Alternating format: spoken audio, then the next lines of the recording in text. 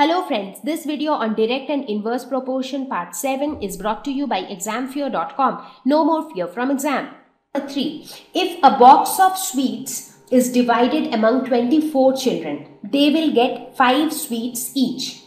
How many would each get if the number of children is reduced by 4? So here we are dealing with two quantities. One is the number of children and the second quantity is the number of sweets each get. Now, as the number of children increases, the number of sweets that each get will decrease. So, basically, number of children is inversely proportional to the number of sweets that each children get. Now, let's say that number of children is denoted by x and number of sweets is denoted by y. So, in this problem, x1 is given as 24 and corresponding value of this x is 5 that is y1 is equal to 5 so when 5 is the number of sweets that each get at that time total number of children is 24 so in the next scenario what is the total number of children reduced by 4 that means 24 minus 4 which is equal to 20 and in this case what is the value of y2 that is how many sweets each children get in this case? That we do not know. We need to find that out.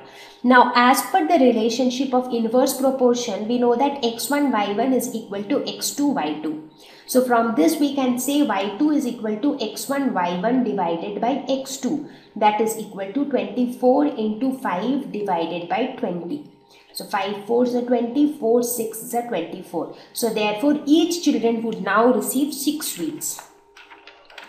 Question number 4. A contractor estimates that 3 persons would rewire Jasminder's house in 4 days. If he uses 4 persons instead of 3, how long should they take to complete the job? So that means here we are again dealing with two quantities. One is the number of worker or the number of people and the other quantity is the time taken to complete the work. So here you see if you increase the number of people then the time taken would reduce which shows that the number of people is inversely proportional to the time taken. So here let's assume that number of people is denoted by x, time taken is denoted by y. So x1 is given as 3 and corresponding value of y1 is 4 because it takes 4 days. In the second scenario, x2 is equal to 4 persons given here and y2 is something that we need to calculate. So as per the relationship of inverse proportion, we know that x1 y1 is equal to x2 y2. Therefore, we can say y2 is equal to x1 y1 divided by x2 that is equal to 3 into 4 divided by 4. So this is equal to 3. So that means they would take 3 days if there are 4 persons. Question number 5. A factory requires 42 machines to produce a given number of articles in 63 days. How many machines would be required to produce the same number of articles in 54 days?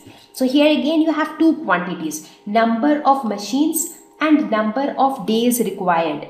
And very clearly you can see that they are inversely proportional to each other. If you have more machines it will take less number of days. If you have less machines it will take more number of days. So let this be denoted by y x and this be denoted by y. So x1 is given as 42 corresponding y1 is given as 63 x2 we have to find out and corresponding y2 is 54. So we know that x1 y1 is equal to x2 y2 therefore x2 is equal to x1 y1 divided by y2 which is equal to 42 into 63 divided by 54. So this is 9 into 7, 9 into 6, 6, 7 are 42. So this is 49. So 49 machines would be required. Question number 6. A school has 8 periods a day, each of 45 minutes duration. How long would each period be if the school has 9 periods a day, assuming the number of school hours remain the same? So in this case, if your school hours remain the same, that means if the time at which the school starts and the school closes, if that remains the same, and if you want to increase the number of periods, then what will happen? The duration of each period will reduce. That's very much obvious. So therefore we can say that number of periods is inversely proportional to the duration of each period.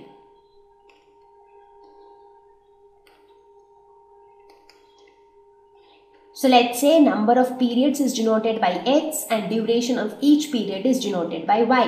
So x1 is equal to 8 periods corresponding y1 when 8 periods exist then each period is of 45 minutes duration.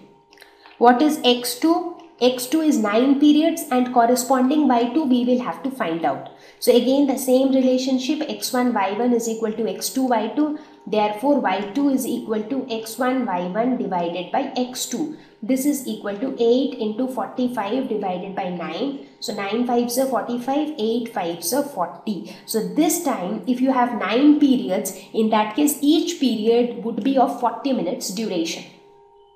So with this we have reached towards the end of this lesson on inverse and direct proportion and I hope that this lesson would have helped you. So here you would have seen that the concepts are pretty simple.